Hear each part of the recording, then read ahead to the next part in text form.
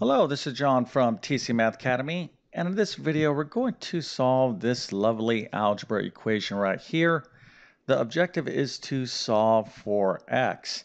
Now, I'm saying that many of you are going to get this wrong because you uh, don't quite understand one specific step in this problem. Uh, I suspect many of you have kind of the general idea. A lot of you, um, I think, will get this right, but a lot of you are going to be close but not have the actual answer. So I'm going to explain this critical step, which uh, throws off a lot of math students when they're solving algebra equations like the following. But uh, before I do that, go ahead and put your answer into the comment section. This uh, particular equation shouldn't take you too long uh, to solve. Feel free to use a calculator if you think that'll help you out. Also, if you need math help with the course you're taking, test prep or homeschooling, make sure to check out my math help program at tcmathacademy.com. You can find a link to that in the description uh, below. And if this video helps you out, don't forget to like and subscribe as that definitely helps me out. Okay, so we have 21 over x plus 1 is equal to 7 over 2. Again, the objective here is to solve for x. So what is x equal to? Well, let's go and take a look at the answer right now, and you can see it. Uh, plain as day, there it is, x is equal to 5. Okay, so how'd you do? Well, if you got this right, this is fantastic. I'm going to go ahead and give you a nice little happy face and A plus a 100% and multiple stars. You can tell your friends and family that indeed you know how to solve a basic algebraic proportion. Okay, so this is the type of equation we're dealing with. Now, technically, you wouldn't, uh, you don't have to classify this as a proportion, but I want you to understand that this is a proportion. I'm going to talk about uh, proportions more in a second, but that's not the step that was critical, okay, that will throw a lot of students off here, okay? There is a particular thing in algebra that uh, a lot of students kind of misunderstand, right? So I'm talking about this mystery uh, step, and I'm going to go ahead and get into this right now. Okay, so here again is our problem. We have 21 over x plus 1 is equal to 7 halves. Now, I'm saying that this is a proportion. Now, why is this a proportion? Well, if we look here, we have a fraction bar and a fraction bar. Effectively, this is an equation where we have one fraction, this is a fraction effectively, is equal to another fraction. Anytime in mathematics you see one fraction equal to another fraction, you're dealing with something called a proportion, okay? And when you have a proportion, you can use a particular technique to solve proportion equations, which is very, very easy. Now here you could also um, look at this as what we call a rational equation, and you can solve it, uh, you know, um, in that kind of manner as well. But I want you to recognize the value of seeing a proportion because when you see a proportion, you could do a lot of cool things to solve proportion problems. But basically, all you need to know is one main property uh, to solve a proportion.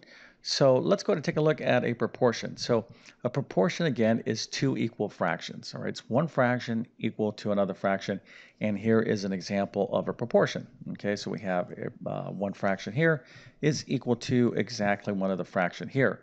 So you can see one half is the same as the fraction 4 over 8 or 3 over 6 or 10 over 20. There's infinite many um, you know variations of this. But effectively, if you look back at the problem, we're stating that, hey, we got one fraction and it's equal to this fraction right here, right? So if you kind of look at the numerator, we have 7, and here this is 21. You might be saying to yourself, wow, looks like this was multiplied maybe by 3, so do I have to multiply this 2 by 3? If you're kind of think in those terms, that's actually pretty good uh, way to be thinking, but let's go ahead and make this super easy on ourselves right here. So again, we have a proportion, right? One fraction equal to another fraction. What do you need to know in order to solve a proportion problem?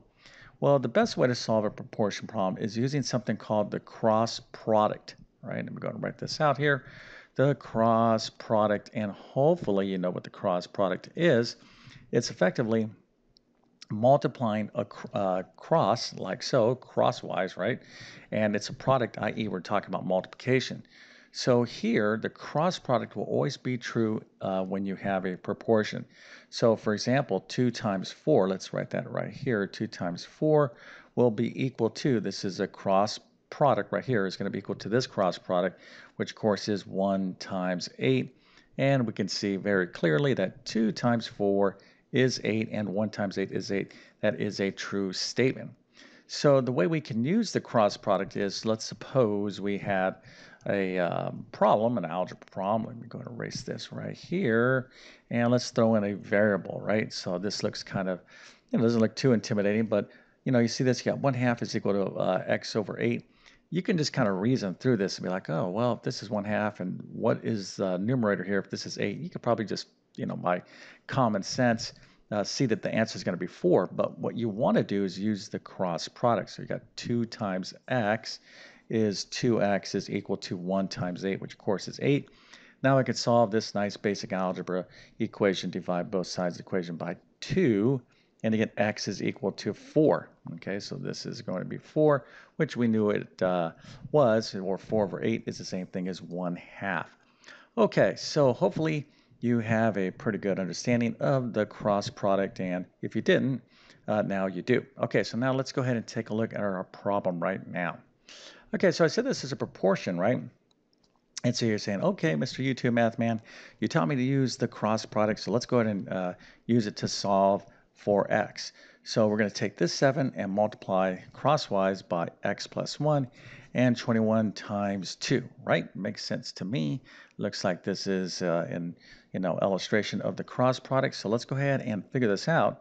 So here we're going to have 7 uh, times, this 7 times x plus 1, right? You can see that work. I already did it. 21 times 2, all right, looks good to me. And so now let's just work through the rest of the problem and I have 7 times x, 7x, plus 1 is equal to 42. Subtract 1 from both sides of the equation. I'm going to get 7x is equal to 41, and then to solve for x, I'm going to divide both sides of the equation by 7.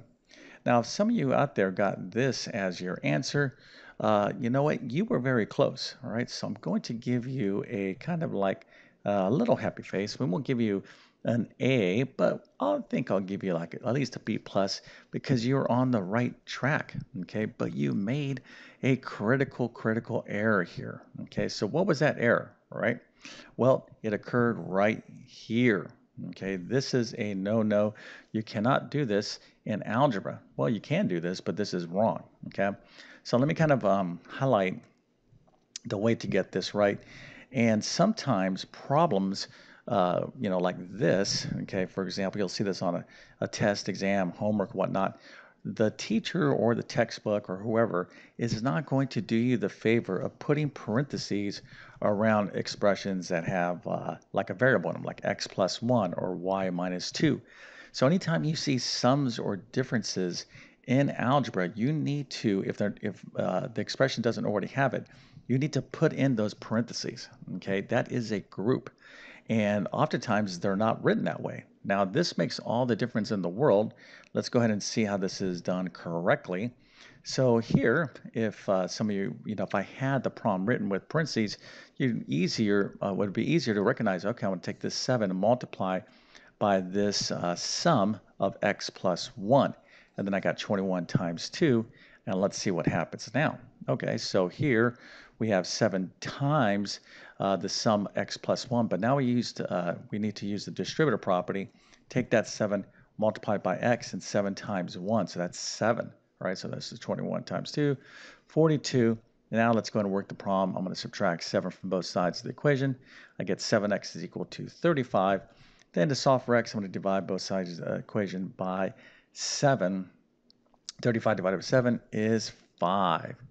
Okay, so this is the main step that uh, oftentimes trips students up. Let's go back up here real quick though and kind of just look at this proportion. Let's see if this uh, makes sense to us, right? So we have x is equal to 5. Let's do a little kind of extra thinking here. So we can see that this fraction is the same as this fraction, right? Proportion. So if the uh, if these fractions are the same, that means that numerators, okay, um, kind of have the same proportion, right? So I have a 7 and I'm going to 21. So this was multiplied, to go from a 7 to a 21, that had to be multiplied by 3, right? So here, for the, this 2 to be the same as this, it would also have to be multiplied by 3. So let's take that 2 and multiply it by 3. So we're going to get x plus 1 over here, and 2 times 3 is 6. Okay, now, um, you know, by doing that, we can see that we can solve this equation here, and our answer will be x is equal to 5, right? So the only reason I bring this up is that there are other properties of proportions. Matter of fact, there's quite a few cool and interesting um, uh, proportion properties that typically you'll learn more about this in like geometry. Um, and uh, that's a whole other story in and of itself. But if you need help with, you know, solving algebraic equations, proportions, and the like, I'm going to leave the direct links to my um, algebra course. As a matter of fact, I'll leave the direct link to all direct links to all my main courses in the description below. But this is one of these little tiny details that oftentimes uh, trip students up. You know, it's all the difference between getting the right answer and the wrong answer, right? So it's that old adage, the devil's in the details, and this is an example of uh, you know having to pay attention when you do mathematics. Okay, so hopefully this little video helps you out. If that's the case, don't forget to like and subscribe. And with that being said, I definitely wish you all the best in your mathematics adventures. Thank you for your time and have a great day.